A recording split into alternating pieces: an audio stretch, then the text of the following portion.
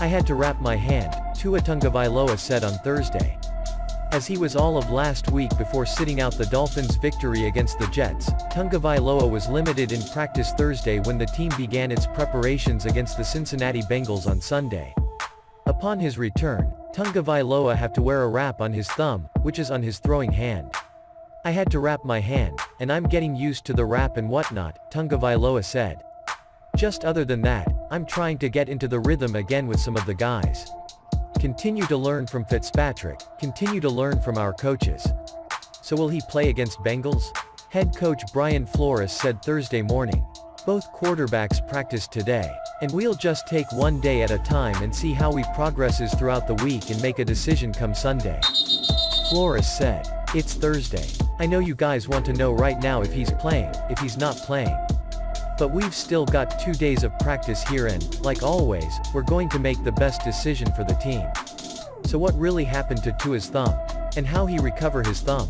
The rookie has been limited after jamming the thumb on his throwing hand on a helmet during practice.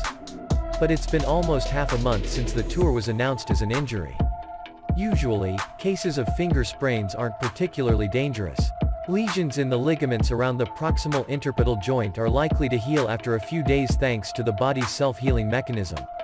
However, in Tua's case, the sprained finger did not heal on its own in a short time, leading to some more serious health problems. Prolonged pain and swelling in and weak finger health may cause Tua to not return to normal. We all expect the tassel to recover soon, but if it is not possible, will the Tua compress pain to go to the game field? The answer is he can.